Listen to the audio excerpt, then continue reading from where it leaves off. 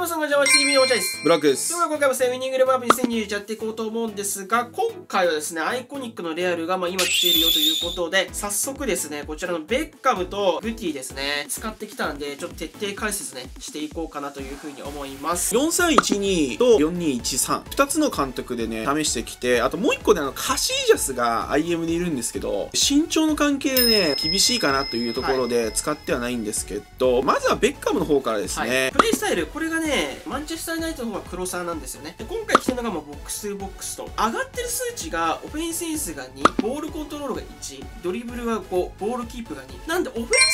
系はね、今回のレアルのベッカムは、すごいいいっていった感じで、ただ一つあるのが、決定力ですね。マイナス6ということで、ヘディングがマイナス5、あと瞬発力ですね、マイナス2。ただ、キック力は1上がって96と、ジャンプマイナス3で、フィジカルコンタクト92から87になっちゃってるんで、マイナス5ですね。で、ボディコンがその代わりに2上がったと。で、一番厳しいなって思ったのが、スタミナ。黒沢のベッカムの方は97あるんですけど、88ということでマイナス9なんですよ。使ってて思うのがね、後半の後半になってきちゃうともう赤になって、ちょっとガス切れになっちゃうかなっていう気はしました。で、ディフェンスセンスがマイナス1で、ボール出しがマイナス1。ただ今回のベッカム一番すごいのがここですね。アグレッシブネスが12勝ってるということで、82ありますね。スキルもですね、全然違くて、無回転シュート、ワンタッチシュートとかワンタッチパスっていうのは消されちゃってます。アウトスピンキックも消されてて、それが PK キッカーになってる。あの、黒沢のマンチェスター・ナイトの方は全部スキルが埋まってたんですけど、その代わりね、1個好きなスキルは1個つけれるよみたいな、全然違うベッカムなのかなっていう気はしますね。黒沢ベッカムとか持ってる人がゲットする必要あるのかっていう話なんですけど、使ってみた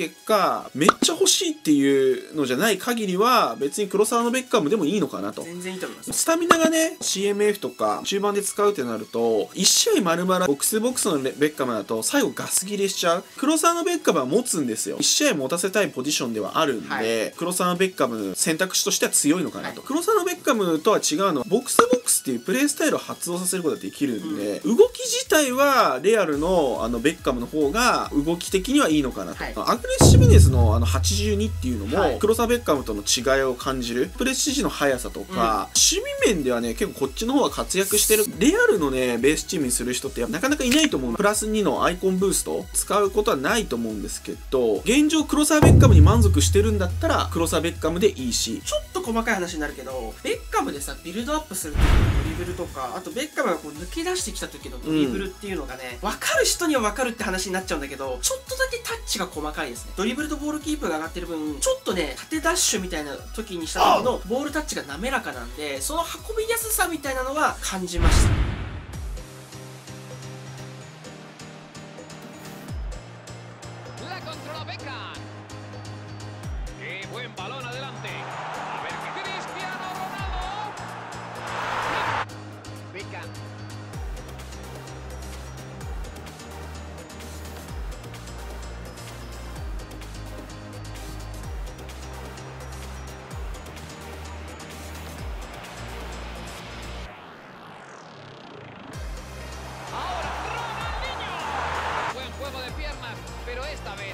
Le ha servido de mucho.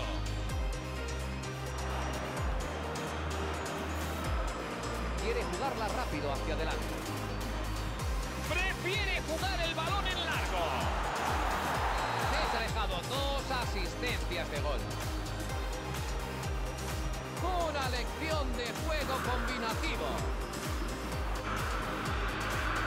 Una lección de juego combinativo.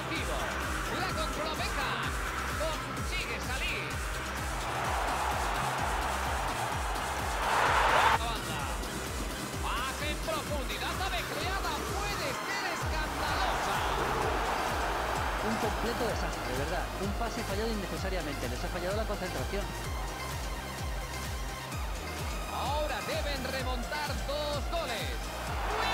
最後の卓としてあるのが、ベッカムにスーパーサブをつけるっていう話が変わってきて、一気にめちゃめちゃビッグな選手になるというかね、はいまあ、つけられればの話なんですけど、ロマン求める人かな。これでもしスーパーサブがついたら、黒沢のベッカムとは明確に役割の違いができるし中田みたいな感じでね、はいはい最後スーパーサブで CMF とか OMF とかに起用して、この能力値が底上がるんで、その部分ではかなり強いのかなと。ワンパとかがね、消えちゃってるんで、はい基本は黒沢ベッカム。ロマンを求めて、いや、俺はこのベッカムにスパサブつけて化け物にしたいみたいな。このベッカムを取るっていうのは選択肢としてありで一方ですねグティの方はこっちの方がねグティはね旧グティよりいいと思っててオフェンスセンスとね決定力がまあプラス3ずつなんですよ。単純にだからここ8989で、まあ、グランドパスフライパスっていうのはプラス1でキック力ジャンプっていうのもプラス1でボディコンプラス1みたいな。ちょっと下がっちゃってるのがボールコントロールがマイナス1とか。あと瞬発力がまあマイナス2と。フィジカルコンタクトがね、えーマイナス3スタミナがマイナス1でディフェンスセンスがマイナス2とかアグレッシブネスがマイナス1みたいな下がってる部分もね結構少ない、アウトスピンキックからですねこの新しいグティはワンタッチシュートついたということでこの3つのスキル。ワンパワンシュースルーパーこれがついちゃってるこっちのグティはですねやっぱりこのオフェンスセンスの高さとか決定力っていうのをこの3トップの右で使ったんですけどかなり感じましたね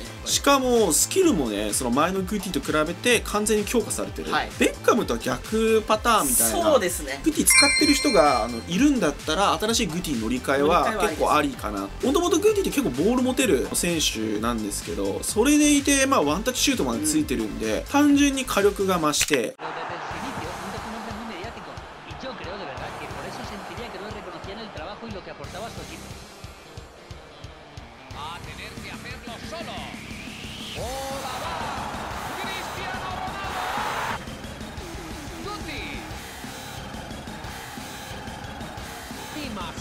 al público en las gradas. Nos han dicho que seguramente el estadio esté lleno. Y no lo pongo en duda después de escuchar el nivel del Guti.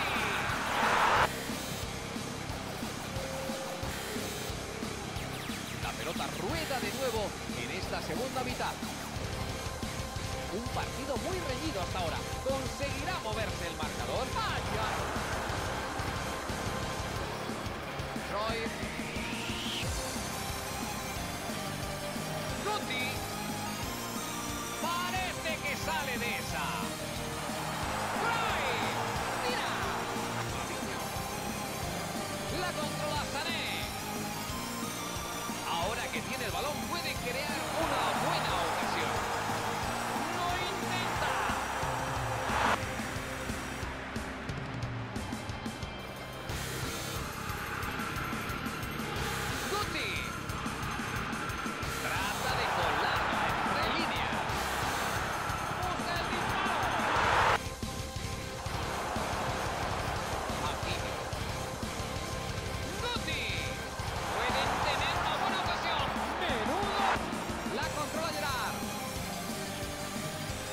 La.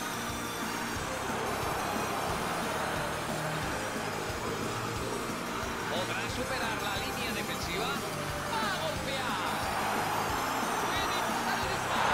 チャンスメーカーなんでただ人は選ぶかなと。中盤で CMF で使った時にスタミナがねそんなにないんで切れちゃうんですよ。おもちゃ TV だと前目の ST とか ST を使うよっていう人だったらグティも取っていいのかな。421だったら全然ガチスカあるかなチャンスメーカーをもし使わないっていうのだったらいらないっていう 感じになるんで一個ポイントにはなってくるのかなというところでそんな感じ？IM のこの2選手っていうのは贅沢品かな、まあ、あくまで独断と偏見なんですけどね。皆さんの方でもいい意見があれば、はい。えぜひコメント欄で教えてくださいこの動画が良ければぜひチャンネル登録高評価よろしくお願いいたします。としょさら